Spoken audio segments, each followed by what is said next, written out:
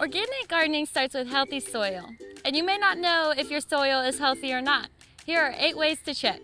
Method number one is checking if you have an active soil. Scrape away a top few inches of your soil surface and look at this area for a few minutes. If you see any organisms crawling around or squirming, that's a really good thing. An active soil is a healthy soil. Method 2. Search for earthworms. Earthworms are a great indicator that you have a healthy soil. Earthworms leave behind organic matter that is much needed for healthy plants.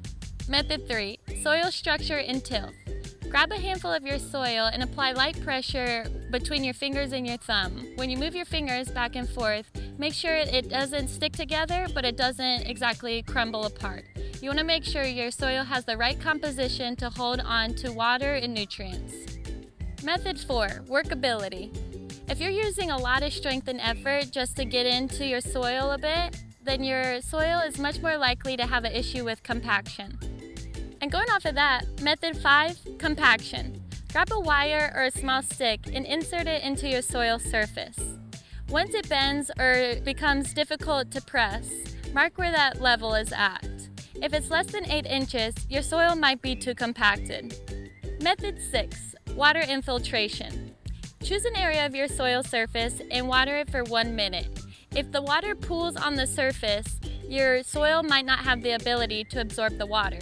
On the other hand, if the water runs through rapidly, your soil might not be able to retain any moisture. You want to make sure that your soil has the composition to hold on to the moisture to get to the roots of the plants.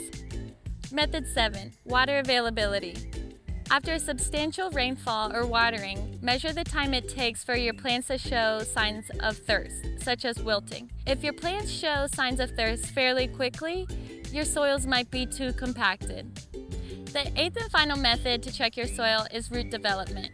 Choose a plant that you're comfortable with removing and look at its roots.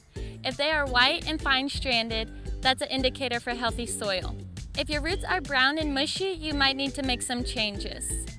Good root development indicates healthy soil with proper watering and aeration. After performing these tests, you'll have a great indication on how healthy your soil is. Head over to nearsourceorganics.com for more resources on how to improve your soil health.